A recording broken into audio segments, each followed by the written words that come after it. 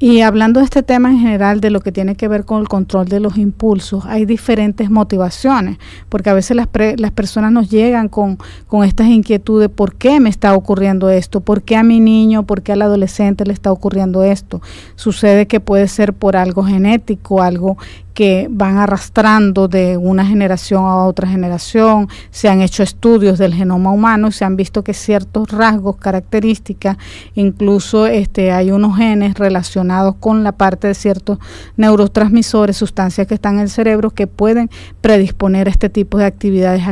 excitantes, de riesgo, de, no medir eh, peligros en algunas personas. En otras eh, puede estar relacionado con el ambiente, el ambiente en, en que se crían las personas, y están copiando, imitando acciones de tipo violento, impulsiva, pues eh, también el ambiente puede llevar a, este tipo de conductas que la persona no puede controlar. Dentro de también la parte biológica se han visto que algunas mm, sustancias en el cerebro pueden estas personas tener alteraciones que le impiden controlar eh, estas acciones que hacen de esta forma tan, digamos, eh, imperiosa o impulsiva como lo hemos estado hablando. Entonces hay una mezcla de factores que pueden llevar a que estas personas desde niños vayan desarrollando estos trastornos.